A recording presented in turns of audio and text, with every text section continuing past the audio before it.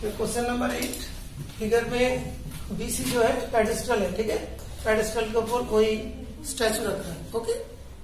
तो अभी D is the observation point D से जब bottom of that is the top of the pedestal को देख रहे हैं 45 डिग्री एंगल होगा तो इसके डायग्राम के लिए ध्यान रखना बीसी का जो लेंथ होगा और डीसी का जो लेंथ होगा, उससे होगा।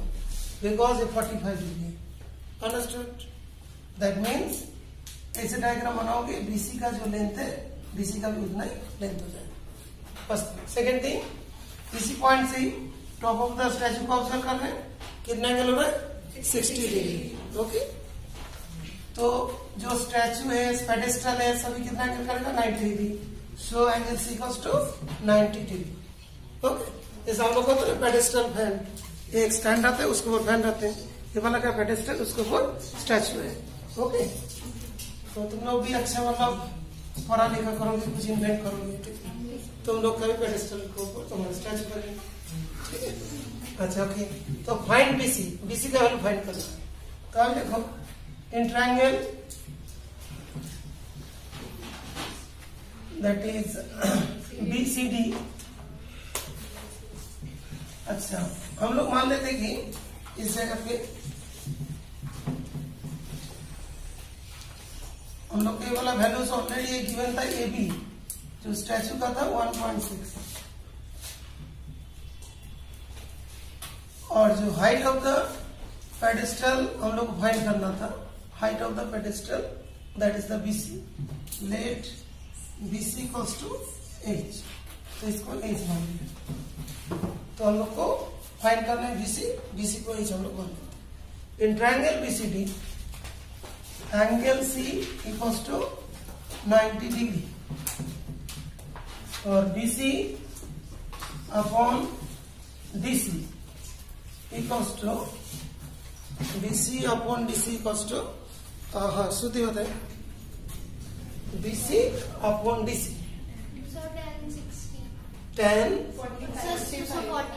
forty है tan forty five degree okay because a perpendicular है ए बेस है ए अननोन है तो बोला नो तो बीसी को एक बने और डीसी जो है equals to tan forty five one one तो डीसी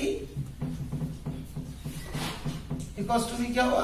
एच डीसी का मतलब भी एच अभी दूसरा ट्रायंगल कौन लेना है. एन ट्रायंगल श्रीता कौन सा ट्रायंगल लेना बेटा? A C D A C D okay बैठो। नेक्स्ट में बताओ इसका आगे क्या लिखना है? Angle C is equal to 90 angle C equals to 90 okay बैठो। खुशी बता इसके बाद क्या लिखना है? A C upon D C AC upon DC equals to okay बैठो। नेक्स्ट तुम बताओ। एसी अपॉन डीसी क्या है? टेन सिक्सटी डिग्री अच्छा एसी जो है वो एच प्लस एक्स है H plus one point six clear ये वाला एच है ये वाला वन पॉइंट सिक्स है। टोटल कितना होगा H plus one point six okay tan sixty degree हो गया। डीसी का वैल्यू भी एच है टेन सिक्सटी वाला कितना होता है? रूट ओके अभी रूट थ्री हो गया. इसके बाद सॉल्व करना है. H plus one point six equals to H root three तो one point six H root three minus H H का वन होगा?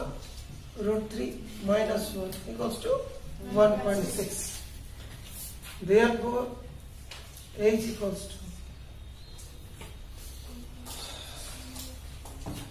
h equals to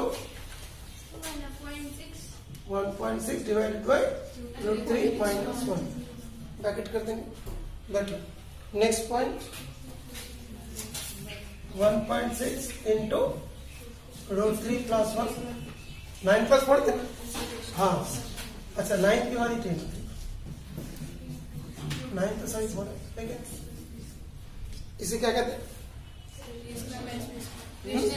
rationalise of denominator तो भी रैशनलाइज किया।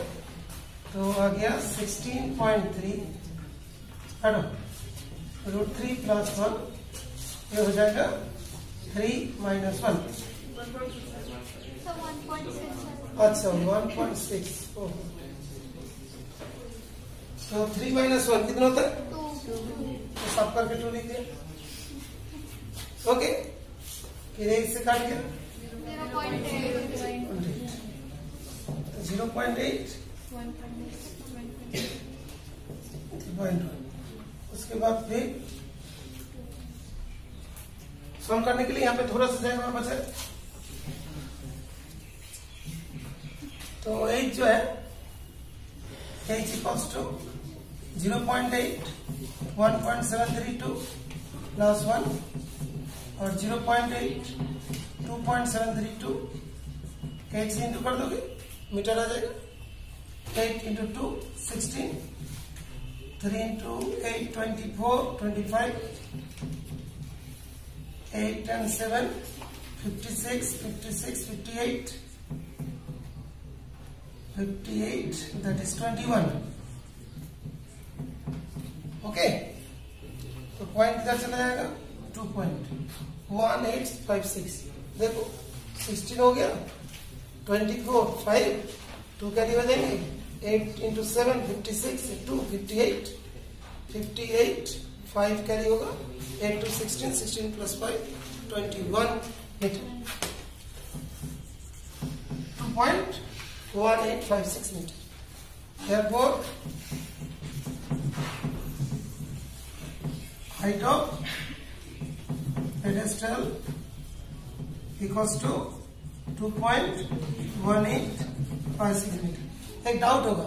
पीछे आंसर शायद ऐसा दिया होगा ना? Yes sir. तो अभी कभी रिक्स में मत रखना। सॉल्व कर देना ठीक है? हो गया?